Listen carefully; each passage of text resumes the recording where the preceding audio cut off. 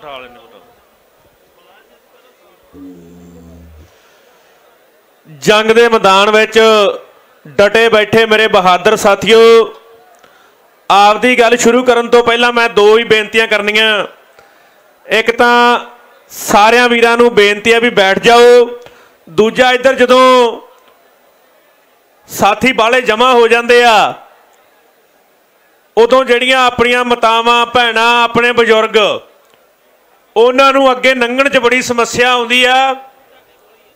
ਆਪਣੇ ਰਾਜੇਵਾਲ ਸਾਹਿਬ ਬੋਲ ਕੇ ਗਏ ਆ। ਆਪਣੇ ਸਨਮਾਨਯੋਗ ਆ। ਹਰੇਕ ਬੰਦਾ ਸੋਚਦਾ ਵੀ ਉਹਨਾਂ ਦੀ ਗੱਲ ਸੁਣੀਏ। ਇਸ ਕਰਕੇ ਕਾਫੀ ਇਕੱਠ ਜ਼ਿਆਦਾ ਸੀ।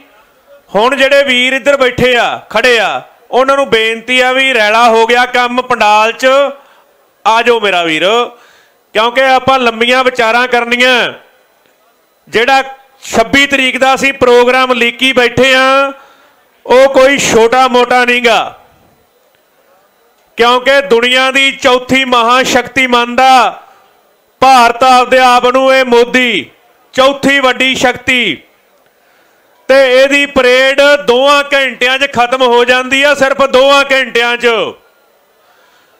ਤੇ ਜਿਹੜੀ ਥੋੜੀ ਪਰੇਡ ਆ, ਇਹਨਾਂ ਦੀ ਇੰਟੈਲੀਜੈਂਸੀ ਇਹਨਾਂ ਦੀਆਂ ਖੂਫੀਆ ਏਜੰਸੀਆਂ, ਇਹਨਾਂ ਦਾ ਪੁਲਿਸ ਪ੍ਰਸ਼ਾਸਨ, ਉਹ ਮੰਨ ਰਿਹਾ ਵਾ ਵੀ 48 ਘੰਟੇ ਤਾਂ ਸਮਝਦੇ ਆ ਵੀ 48 ਘੰਟਿਆਂ ਤੋਂ ਬਿਨਾ ਤੁਸੀਂ ਪਰੇਡ ਖਤਮ ਨਹੀਂ ਕਰ ਸਕਦੇ।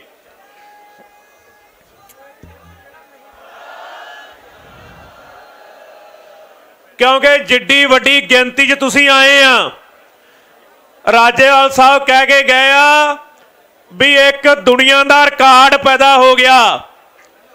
ਕੱਲ ਅਸੀਂ 32 ਜਥੇਬੰਦੀਆਂ ਦੀ ਮੀਟਿੰਗ ਕਰ ਰਹੇ ਸੀ।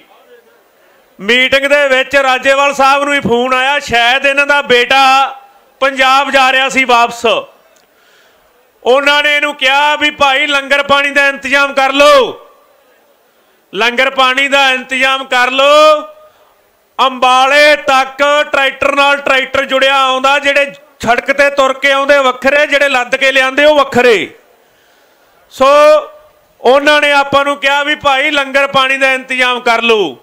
ਜਿਸ ਕਰਕੇ ਫੌਰੀ ਤੌਰ ਤੇ ਆਪਾਂ ਕਰਨਾਲ ਤੱਕ ਜਿੰਨਾ ਵੀ ਗੁਰਦੁਆਰੇ ਸੀ ਸਾਰਿਆਂ ਨੂੰ ਕਿਹਾ ਵੀ ਭਾਈ ਸਾਡੀ ਮਦਦ ਕਰੋ। ਇਹ ਛੋਟੀ ਗੱਲ ਨਹੀਂ ਭਰਾਓ। ਅਸੀਂ ਪੰਜਾਬ ਦੇ ਵਿੱਚ ਉਹ ਵੀ ਦਿਨ ਦੇਖੇ ਆ, ਜਦੋਂ ਸਾਡੀ ਜਿਹੜੀ ਲੜਨ ਵਾਲੀ ਸੈਨਾ, ਸਾਡੀ ਤਾਕਤ ਆ ਉਹ ਇਹਨਾਂ ਕਾਲੀਆਂ ਕਾਂਗਰਸੀਆਂ ਦੇ ਮਗਰ ਸੀ ਤੇ ਆਪਦੀਆਂ ਜਥੇਬੰਦੀਆਂ ਦੇ ਮਗਰ ਨਹੀਂ ਸੀ ਤੁਰਦੀ। ਪਰ ਅੱਜ ਭਰਾਓ, ਤੁਸੀਂ ਸਾਰੇ ਲਾਂਬੇ ਲਾਤੇ ਆ। ਜਿਹੜੇ ਆਗੂ ਕਹਿੰਦੇ ਸੀ ਵੀ ਜਨਤਾ ਨਹੀਂ ਤੁਰਦੀ, ਉਹਨਾਂ ਨੂੰ ਦੱਸਤਾ ਵੀ ਅਸੀਂ ਖੜੇ ਆ, ਤੁਸੀਂ ਤਕੜੇ ਹੋ ਕੇ ਮੂਰੇ ਲੱਗੋ। ਅਸੀਂ ਤੁਹਾਡੇ ਮਗਰ ਖੜੇ ਆ ਤੇ ਤੁਸੀਂ ਜਿੱਥੇ ਇੰਨੇ ਭੁਲੇਖੇ ਕੱਢੇ ਆ, ਮੈਂ ਸਮਝਦਾ ਸਭ ਤੋਂ ਵੱਧ ਭੁਲੇਖੇ ਕੱਢੇ ਆ ਕਿਸੇ ਦੇ ਤੇ ਮੋਦੀ ਸਰਕਾਰ ਦੇ ਕੱਢੇ ਆ। ਕਿਉਂਕਿ ਜਦੋਂ ਤੁਸੀਂ ਦਿੱਲੀ ਆ ਕੇ ਬੈਠੇ ਸੀ, ਉਹਨਾਂ ਨੂੰ ਐ ਲੱਗਦਾ ਸੀ ਵੀ ਸ਼ਾਇਦ ਇਹ ਕਸ਼ਮੀਰ ਦੇ ਅੰਦੋਲਨ ਵਾਂਗੂ ਇਹਨਾਂ ਨੂੰ ਫੌਜੀ ਬੂਟਾਂ ਥੱਲੇ ਦਰੜ ਦੇਾਂਗੇ ਸ਼ਾਇਦ ਸ਼ਹੀਨ ਬਾਗ ਵਾਲੇ ਅੰਦੋਲਨ ਵਾਂਗੂ ਇਹਨਾਂ ਤੇ ਅੱਤਵਾਦੀ ਦਾ ਠੱਪਾ ਲਾ ਦੇਾਂਗੇ ਉਹਨਾਂ ਨੇ ਆਪ ਦਾ ਟੈਲ ਲਾਇਆ। ਜਦੋਂ ਤੁਸੀਂ ਪੰਜਾਬ ਤੋਂ ਤੁਰੇ, ਹਰਿਆਣੇ ਦੇ ਬਾਰਡਰ ਤੇ ਆਉਣ ਤੱਕ ਤੁਸੀਂ ਖਾਲਸਤਾਨੀ ਸੀਗੇ। ਦੋ ਕੁ ਦਿਨ ਤੁਸੀਂ ਖਾਲਸਤਾਨੀ ਰਹੇ ਆ। ਮੁੜ ਕੇ ਜਦੋਂ ਆਪਣੇ ਹਰਿਆਣੇ ਵਾਲੇ ਸਾਥੀ ਨਾਲ ਆ ਕੇ ਵੱਡੀ ਗਿਣਤੀ 'ਚ ਤੁਹਾਡੇ ਨਾਲ ਬੈਠ ਗਏ, ਫਿਰ ਖਾਲਸਤਾਨੀ ਵਾਲਾ ਠੱਪਾ ਲੈ ਗਿਆ ਤੇ ਨਕਸਲਾਈਟਾਂ ਵਾਲਾ ਲੱਗ ਗਿਆ। ਉਹ ਵੀ ਤੁਸੀਂ ਲਾਤਾ। ਐਸ ਵੇਲੇ ਘੱਟੋ ਘਾਟੇ ਮੰਨਣ ਲੱਗ ਗਏ ਆ ਵੀ ਤੁਸੀਂ ਕਿਸਾਨ ਆ। ਤੁਸੀਂ ਕਾਂਗਰਸੀ ਨਹੀਂ, ਤੁਸੀਂ ਕਿਸੇ ਹੋਰ ਪਾਰਟੀ ਦੇ ਨਹੀਂ, ਤੁਸੀਂ ਕਿਸਾਨ ਆ। ਇਹ ਗੱਲ ਮਨਾਉਣ ਵਾਸਤੇ ਭਰਾਓ ਵੀ ਜ਼ੋਰ ਲੱਗਾ, ਆਪਣਾ ਸੌਖਾ ਨਹੀਂਗਾ। ਕਿਉਂਕਿ ਇਹਨਾਂ ਦਾ ਤਜਰਬਾ ਹਰੇਕ ਅੰਦੋਲਨ ਦੇ ਵਿੱਚ ਕਿਵੇਂ ਗੜਬੜ ਫਲਾਉਣੀ ਆ, ਕਿਵੇਂ ਦੰਗੇ ਕਰਾਉਣੇ ਆ, ਕਿਵੇਂ ਅੰਦੋਲਨ ਨੂੰ ਤਹਿਸ ਨਹਿਸ ਕਰਨਾ, ਇਹ ਬੀਜੇਪੀ ਵਾਲਿਆਂ ਤੋਂ ਵੱਧ ਕੋਈ ਨਹੀਂ ਜਾਣਦਾ। ਤੇ ਆਪਣੇ ਤੇ ਵੀ ਇਹਨਾਂ ਨੇ ਸਾਰੇ ਤਜਰਬੇ ਕਰਕੇ ਵੇਖੇ ਆ। ਆਪਣੇ ਵਿੱਚ ਵੱਡੀ ਗਿਣਤੀ ਵਿੱਚ ਬੰਦੇ ਵਾੜੇ ਹੋਏ ਆ। ਚੱਲ ਕਾਫੀ ਫੜ ਲਿਆ, ਹਜੇ ਹੋਰ ਬਥੇਰੇ ਤੁਰੇ ਫਿਰਦੇ ਆ। ਤੁਸੀਂ ਸਾਰਿਆਂ ਨੇ ਜਿੱਦਣ ਪ੍ਰੈਸ ਕਾਨਫਰੰਸ ਕੀਤੀ ਸੀ ਆਪਾਂ, ਤੇ ਉਹ ਮੁੰਡੇ ਨੇ ਜਿਹੜੇ ਬਿਆਨ ਦਿੱਤੇ ਆ, ਤੁਸੀਂ ਸਾਰਿਆਂ ਨੇ ਸੁਣੇ ਆ। ਕਿਵੇਂ ਚਾਰ ਆਗੂਆਂ ਨੂੰ ਜਾਨੋਂ ਮਾਰਨ ਦੀਆਂ ਗੱਲਾਂ ਹੋਈਆਂ, ਕਿਵੇਂ ਸਾਡੇ ਅੰਦੋਲਨ ਦੇ ਵਿੱਚ ਭੜਕਾਟ ਪੈਦਾ ਕਰਨ ਦੀਆਂ ਗੱਲਾਂ ਹੋਈਆਂ, ਪਰ ਸਦਕੇ ਸਾਡੇ ਨੌਜਵਾਨਾਂ ਦੇ, ਅਸੀਂ ਸਟੇਜ ਤੋਂ ਕਿਹਾ ਵੀ ਭਰਾਓ, ਇੱਥੇ 32 ਜਥੇਬੰਦੀਆਂ ਦੇ ਆਗੂਆਂ ਦੇ ਵਸ ਦਾ ਰੋਗ ਨਹੀਂ ਕੱਲਿਆਂ ਦੇ। ਇੱਥੇ ਅਸੀਂ ਸਾਰੇ ਆਗੂ ਆ ਤੇ ਜਿੰਨਾ ਚਿਰ ਅਸੀਂ ਸਾਰੇ ਦੇ ਸਾਰੇ ਆਗੂ ਬਣ ਕੇ ਵਲੰਟੀਅਰ ਬਣ ਕੇ ਆਪਦੀ ਜ਼ਿੰਮੇਵਾਰੀ ਨਹੀਂ ਨਿਭਾਉਂਦੇ, ਆਪਦੇ ਅੱਖਾਂ, ਨੱਕ, ਕੰਨ ਸਭ ਕੁਝ ਖੋਲ ਕੇ ਨਹੀਂ ਰੱਖਦੇ, ਇਸ ਧਰਨੇ ਦੇ ਵਿੱਚ ਸਾਡਾ ਸੰਘਰਸ਼ ਜਿੱਤਿਆ ਨਹੀਂ ਜਾਣਾਗਾ।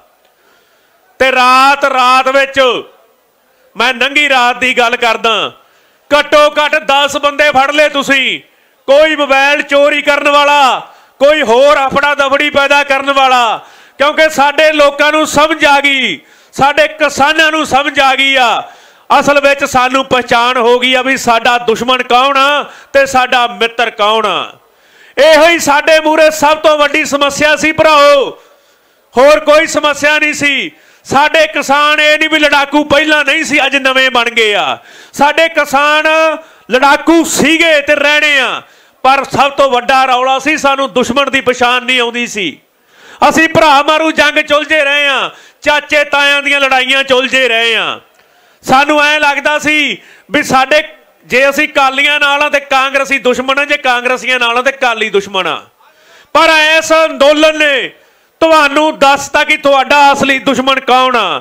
ਅੱਜ ਲਖੀਰ ਖਿੱਚੀ ਗਈ ਆ। ਜਿਹੜੀ ਸਾਡੇ ਬਾਬੇ ਨਾਨਕ ਨੇ ਖਿੱਚੀ ਸੀ, ਉਦੋਂ ਤੋਂ ਲੈ ਕੇ ਮੈਂ ਇੱਕ ਗੱਲ ਭਰਾਓ ਤੁਹਾਨੂੰ ਦੱਸ ਦਿੰਨਾ ਇੱਥੇ ਕੋਈ ਧਰਮ ਨਹੀਂ, ਕੋਈ ਕੌਮ ਨਹੀਂ, ਕੋਈ ਜਾਤ ਨਹੀਂ, ਕੋਈ ਪਾਤ ਨਹੀਂ। ਦੋ ਹੀ ਜਾਤਾਂ, ਦੋ ਹੀ ਧਰਮ ਤੇ ਦੋ ਹੀ ਕੌਮਾਂ ਵਾ। ਉਹ ਕਿਹੜੀਆਂ?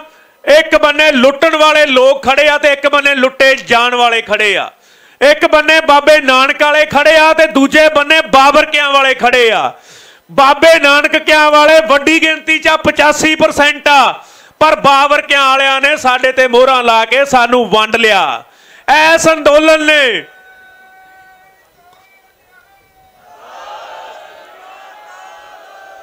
ਐਸ ਅੰਦੋਲਨ ਵਿੱਚ ਬਾਬੇ ਨਾਨਕ ਕਿਆਂ ਵਾਲਿਆਂ ਨੇ ਅੰਗੜਾਈ ਲਈ ਆ। ਉਹਨਾਂ ਨੇ ਵੇਖ ਲਿਆ ਵੀ ਕਿਹੜੇ ਬਾਬਰ ਕਿਆਂ ਨਾਲ ਆ ਤੇ ਇੱਕ ਸਪਸ਼ਟ ਲਖੀਰ ਖਿੱਚ ਲਈ ਆ। ਅੱਜ ਵੱਡੀਆਂ ਵੱਡੀਆਂ ਆਲੀਸ਼ਾਨ ਬਿਲਡਿੰਗਾਂ ਦੇ ਵਿੱਚ ਬੈਠ ਕੇ ਬਾਬਰ ਕੇ ਤੁਹਾਡੀ ਕਿਸਮਤ ਦਾ ਫੈਸਲਾ ਕਰਦੇ ਰਹੇ ਅੱਜ ਤੱਕ। ਇਸ ਅੰਦੋਲਨ ਨੇ ਇਹਨਾਂ ਨੂੰ ਦੱਸਤਾ ਬਾਬਰਕਿਆਂ ਨੂੰ, ਬਈ ਹੁਣ ਉਹਨਾਂ ਵੱਡੀਆਂ ਬਿਲਡਿੰਗਾਂ 'ਚ ਬਹਿ ਕੇ ਤੁਸੀਂ ਮਲਕ ਭਾਗੋ, ਭਾਈ ਲਾਲੂਆਂ ਦੀ ਕਿਸਮਤ ਦਾ ਫੈਸਲਾ ਨਹੀਂ ਕਰ ਸਕਦੇ। ਹੁਣ ਭਾਈ ਲਾਲੋ ਆਪਦੀ ਕਿਸਮਤ ਦਾ ਫੈਸਲਾ ਆਪ ਕਰਨਗੇ। ਸੋ ਇਹ ਸਾਡੇ ਅੰਦੋਲਨ ਦੀ ਵੱਡੀ ਪ੍ਰਾਪਤੀ ਆ। ਰਹੀ ਗੱਲ ਭਰਾਓ ਆਪਣੀ 26 ਵਾਲੀ। 26 ਚ ਮੈਂ ਬਹੁਤ ਸਾਰੀਆਂ ਗੱਲਾਂ ਆਪਣੇ ਰਾਜੇਵਾਲ ਸਾਹਿਬ ਕਰਕੇ ਗਏ ਆ। ਥੋੜੀ ਮੈਂ ਤੁਹਾਨੂੰ ਦੱਸ ਦਿਆਂ ਵੀ ਆਪਾਂ ਨੂੰ ਪੱਕਾ ਵਾ ਵੀ ਆਪਾਂ 2-3 ਦਿਨਾਂ ਤੋਂ ਪਹਿਲਾਂ ਪਰੇਡ ਕਰਕੇ ਨਹੀਂ ਮੁੜਦੇ। ਜਿੰਨੀ ਵੱਡੀ ਗਿਣਤੀ ਚ ਆਏ ਆ। ਇੱਕ ਤਾਂ ਬੇਨਤੀ ਆ ਵੀ ਜਿਹੜੇ ਨਵੇਂ ਟਰੈਕਟਰ ਆ ਰਹੇ ਆ, ਜਿੱਥੋਂ ਤੱਕ ਮੇਰੀ ਆਵਾਜ਼ ਜਾਂਦੀ ਆ, ਵੀ ਸਾਥੀਓ ਗਾਂ ਲਿਆਉਣ ਦੀ ਕੋਸ਼ਿਸ਼ ਨਾ ਕਰੋ। ਆਪਾਂ ਉਹਨਾਂ ਨੂੰ ਮਗਰ ਕਿਤੇ ਸੈੱਟ ਕਰੋ। ਕਿਉਂਕਿ ਹਰੇਕ ਟਰੈਕਟਰ ਜਿਹੜਾ ਪੰਜਾਬ ਤੋਂ ਤੁਰਿਆ, ਉਹਦੇ ਮਨ ਦੇ ਵਿੱਚ ਆ ਵੀ ਅਸੀਂ ਜਾਈਏ, ਉਥੇ ਪਰੇਡ 'ਚ ਜਾਈਏ। ਤੇ ਪੁਲਿਸ ਵਾਲੇ ਕਹਿ ਰਹੇ ਸੀ ਬਈ ਇੱਕ ਦਿਨ 'ਚ ਤੁਹਾਡੀ ਪਰੇਡ ਖਤਮ ਨਹੀਂ ਹੋਣੀ, ਇੱਕ ਦਿਨ 'ਚ ਕਰੋ। ਤੇ ਆਪਣੇ ਆਗੂਆਂ ਨੇ ਠੋਕ ਕੇ ਕਿਹਾ ਵੀ ਜਿੰਨਾ ਚਿਰ ਸਾਡਾ ਪੰਜਾਬ ਤੋਂ ਤੁਰਿਆ ਇੱਕ ਇੱਕ ਟਰੈਕਟਰ ਰੋਡ ਦੇ ਮਾਰਚ ਦੇ ਵਿੱਚ ਪਰੇਡ 'ਚ ਸ਼ਾਮਲ ਨਹੀਂ ਹੁੰਦਾ ਉਹਨਾਂ ਚਿਰ ਭਾਈ ਸਾਡੀ ਪਰੇਡ ਨਹੀਂ ਮੁੱਕਣੀ, ਇਹ 'ਚ ਚਾਹੇ 2 ਦਿਨ ਲੱਗਣ ਤੇ ਚਾਹੇ 4 ਦਿਨ ਲੱਗਣ। ਇੱਕ ਗੱਲ ਸਮਝ ਲਿਆ ਜੇ ਭਰਾਓ। ਇੱਕ ਗੱਲ ਭਰਾਓ ਸਮਝ ਲਿਆ ਜੇ, ਧਿਆਨ ਰੱਖਣ ਯੋਗ। ਆਪਾਂ ਨੂੰ ਪਤਾ ਵਾ, ਹੋ ਸਕਦਾ ਵਾ ਆਪਣੇ ਕੋਲੋਂ ਪ੍ਰਬੰਧ ਨਾ ਹੋਵੇ, ਲੰਗਰ ਮਗਰ ਨਾ ਪਹੁੰਚਾਇਆ ਜਾਵੇ। ਇੱਕ ਝੋਲਾ ਲਾਜ਼ਮੀ ਰੱਖਿਆ ਜੇ ਪੰਜਾਬੀ 'ਚ ਕਹਿ ਲਈਏ ਤਾਂ ਨਾਲ। ਉਹਦੇ 'ਚ ਗਰਮ ਕੱਪੜੇ ਤੇ ਪਾਣੀ ਦੀਆਂ ਦੋ ਬੋਤਲਾਂ ਤੇ ਕੋਈ ਸੁੱਕਾ ਖਾਣ ਨੂੰ ਰੱਖ ਲਿਆ ਜੇ। ਬਸ ਇਹੀ ਸੋਚ ਲਿਆ ਜੇ, ਇਹੀ ਫੀਲਿੰਗ ਲੈ ਲਿਆ ਜੇ ਵੀ ਤੁਸੀਂ ਘੋੜੀਆਂ ਦੀਆਂ ਕਾਠੀਆਂ ਤੇ ਆ ਤੇ ਜੰਗ ਦੇ ਮੈਦਾਨ 'ਚ ਆ। ਸਾਡੇ ਵੱਡ ਵਡੇਰੇ ਘੋੜਿਆਂ ਦੀਆਂ ਕਾਠੀਆਂ ਤੇ ਬੈਠ ਕੇ ਮੁੱਠੀ ਮੁੱਠੀ ਛੋਲੇ ਖਾ ਕੇ ਜੰਗਾਂ ਲੜਦੇ ਰਹੇ ਆ। ਅਸੀਂ ਟਰੈਕਟਰ ਦੀਆਂ ਸੀਟਾਂ ਤੇ ਬਹਿ ਕੇ ਜੇ ਦੋ ਦਿਨ ਭੁੱਖਾ ਵੀ ਰਹਿਣਾ ਪਿਆ, ਰਹਿ ਲਾਂਗੇ, ਕੋਈ ਰੌਲਾ ਨਹੀਂਗਾ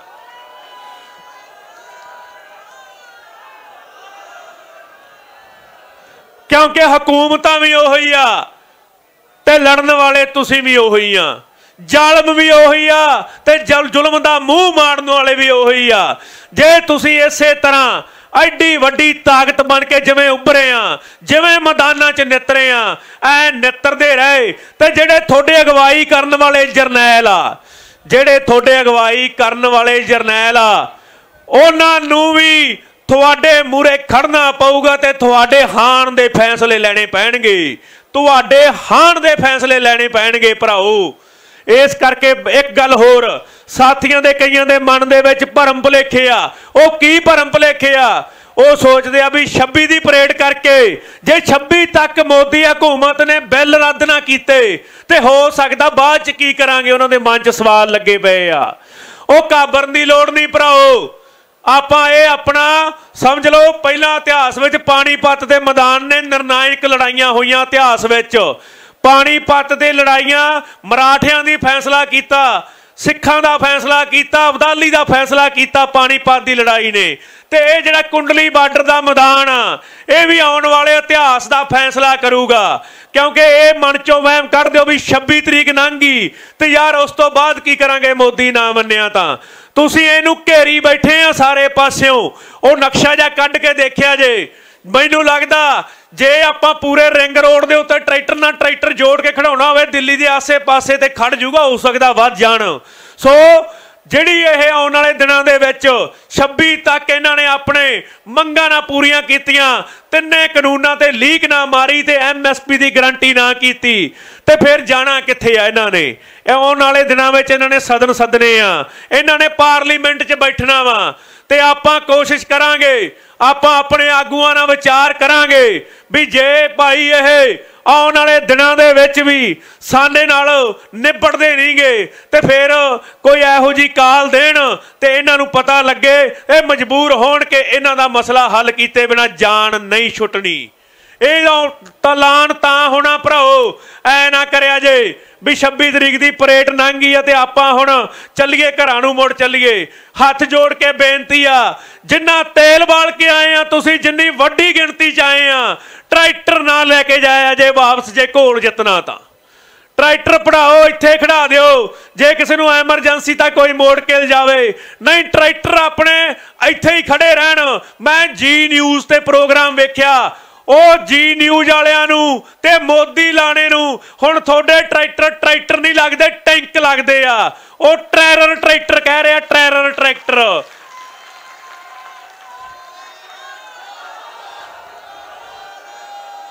ਤੇ ਸਾਡੇ ਪ੍ਰਧਾਨ ਨੇ ਇੱਕ ਦਿਨ ਬੋਲਦੇ ਹੋਏ ਆਖਿਆ ਸੀ ਵੀ ਟਰੈਕਟਰ ਹੁਣ ਟਰੈਕਟਰ ਨਹੀਂ ਰਹਿ ਗਿਆ। ਇਹ ਕਿਸਾਨ ਦਾ ਪੁੱਤ ਬਣ ਗਿਆ ਵਾ ਤੇ ਆਪਦਿਆਂ ਪੁੱਤਾਂ ਨੂੰ ਘਰੇ ਨਾ ਮੁੜਨ ਦਿਆ ਜੇ। ਇਹਨਾਂ ਨੂੰ ਖੜੇ ਰਹਿਣ ਦਿਓ।